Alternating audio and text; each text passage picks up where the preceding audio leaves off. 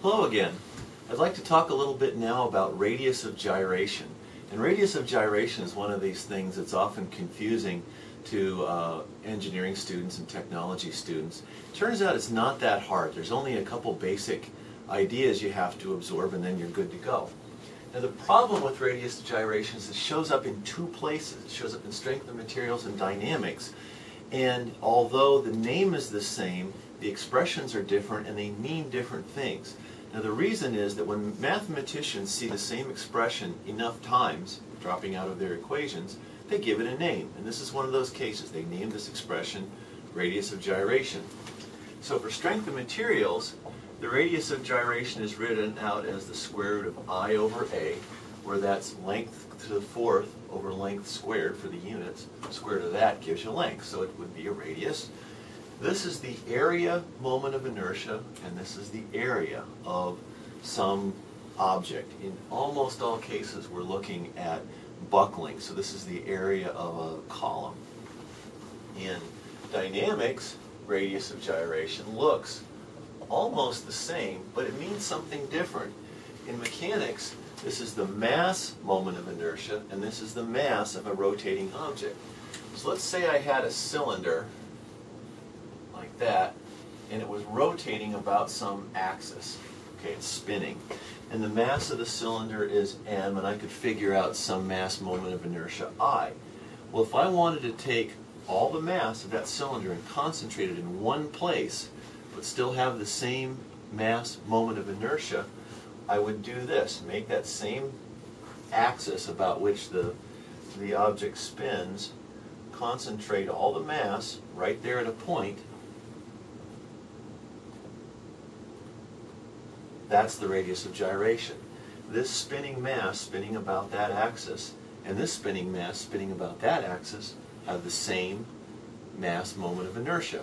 Okay. So this is nice and physical. This is, this is easy to describe in physical, graphical terms. We're interested in strength of materials, not dynamics, so I'm going to stop with that and go back over to here. Now the problem with radius of gyration over here is that it doesn't have a nice clean physical definition. It's certainly something you can figure out, but it doesn't have this intuitive mechanical uh, uh, definition like we saw over here for dynamics. For strength of materials, we're mostly interested in buckling problems. So let's say I've got a pin-ended column drawing this pretty fast here. Okay, column is pinned on both ends. Okay, I guess you can't really see that. Let me do this. There you go, pinned on both ends. And there's a force here, and I'll call that force F. If that force is big enough, this column is going to buckle. Now, there's two kinds of buckling. There's long column and short column buckling. Here's a long, thin column. When I push that, I can make it buckle. Now there's no plastic deformation. When I stop pushing, it comes back to its original shape. Okay? And the axis of the column has changed. Exactly. The center, the centroid, I guess, the, the line of this beam, has deformed quite a lot. Here's short column buckling. A while back, some of my students decided they wanted to experiment with short column buckling. They got an entire case of soup, 24 cans, and ate all 24 cans of soup, I assume over the course of a week or two. I don't think they did it in a day. And they started crunching these, compressing these, until they finally got them to uh, compress without deforming this way. They come crunching straight down. And what they got, I'll, I'll hold this up so you can see it, is perfect, and I mean just perfect like you read about short column buckling. That's what it looks like. And you get this nice, you got this nice hexagonal star shape in there. Okay, in order to figure out whether the problem is going to give you short column buckling or long column buckling, you have to use the radius of gyration. Now this is a little bit convoluted, but it turns out it's not too hard. Let me give you some numbers here. This is, length is going to be 3 meters. Diameter is going to be 75 millimeters. This, I'm assuming this is a solid steel rod, okay? The steel has a yield strength of 400 megapascals and elastic modulus of 205 gigapascals. And that's all we need to know. And we know it's got pinned ends. All right, the question we need to know now, whether we've got a long column or short column, we need to compare something called the slenderness ratio and the column constant. Let's see, that's usually, okay, if the slenderness ratio is larger than the column constant, then I've got a long column. Okay, if not, I've got a short column.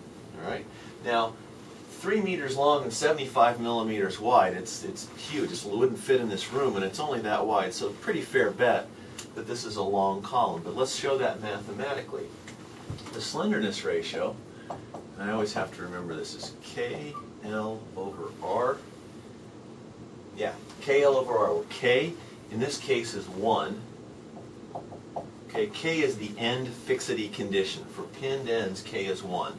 For other end conditions, K is something else. And the reason it's like that is because when Euler derived these equations originally, he derived it for pinned ends, and rather than rederiving the equation, thought it would be easier to just use the same expression with different Ks for different end conditions. So this is 1 times 3 meters R. Well, square root of I over A for this turns out to be 18.75 millimeters. And the uh, slenderness ratio is 160. Okay, that's unitless. Now just to back up here a second, I for this is pi, I'm sorry, pi over 64 d to the fourth, and for this case, we get, uh, let's see, uh, 1.5532 times 10 to the sixth millimeters to the fourth, and A is pi over 4d squared, and that's 4.4179 times 10 to the third millimeters squared. Now, I don't have a whole lot of time here. I got about two and a half minutes left. So I'm going to run through this pretty fast, okay? But those, you can work these numbers out for yourself. They're pretty straightforward. Okay, so we've got slenderness ratio is 160. Column constant is, let's see, 2 pi squared e y square root. That's the column constant. Column constant is also unitless. And here it turns out to be 100.58. Right? So, because of that, we know that this is a long, slender column. We, we suspected that anyway, but we've now shown mathematically that it's true. So, we've proven that. Last thing we need to know is the buckling load. Well, the critical buckling load is pi squared EI over k squared L squared. All right? We already know that's 1. That's just a number. We know that. We know that. We know that we're good to go. All we have to do is plug numbers in there and generate a value. And When you work this out, you get 3, 4, 9, 1, 6, 0. It's actually 161, but I'm working to five significant figures. So there we go. Using the radius of gyration, we were able to calculate a slenderness ratio. We compared the slenderness ratio to the column constant to show that we had a long column.